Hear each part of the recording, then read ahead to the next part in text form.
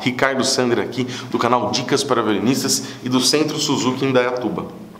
Bom, e também do Estação Four Strings. Se você não conhece, clica aí embaixo na descrição do vídeo, tá tudo aí. Só seguir, cumprir, é, assinar, se inscrever, compartilhar, dar like, comenta. Você capricha daí na audiência e a gente capricha daqui no conteúdo. Vamos lá. E no 26, vou ver no que eu posso te ajudar. Vamos tocar e ver.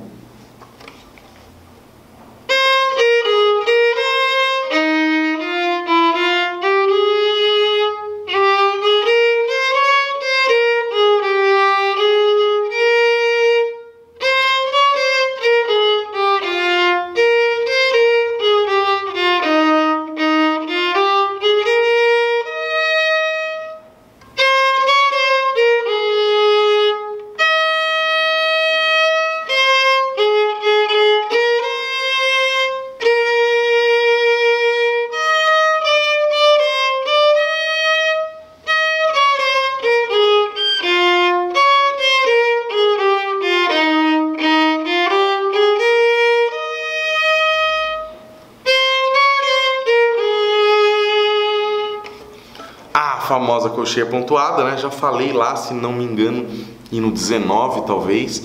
Então, se você ouviu lá, não vou ficar repetindo aqui. Se você não ouviu, você deveria estar tá assistindo os hinos na ordem, desde o número 1. Eu estou postando sempre na ordem, ok? Porque é o que eu falo sempre. Você assiste o 1, o 2, o 3, o 4 e às vezes você vai falar assim: nossa, esse hino nem falou nada. Se você está assistindo todos, você já vai saber o que eu estou falando. Ah, aproveitamento de arco aqui e tal, tá bom? Então um hino vai puxando o outro. Assista na ordem. Ricardo, como treinar? Né? Treina lá a, o arco, como eu te expliquei no hino 19 lá, tá bom? Sequência de semicolcheias.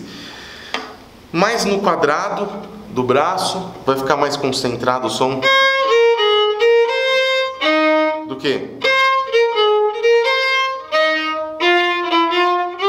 Tem gente que quer tocar assim, né? Ridículo para falar a verdade, né? Então, para com isso, usa menos arco, concentra o arco para o seu som ficar mais concentrado, um som mais consistente, tá bom? É... E cuidado aqui, sempre nas respirações, principalmente nas de nota longa, que, que, que vem depois de nota mais longa, corta um pouquinho antes. Esse é o grande segredo para não ir atrasando, para não ir diminuindo o ritmo, tá bom? Terminou, corta um pouquinho antes, volta ao arco e manda bala, certo?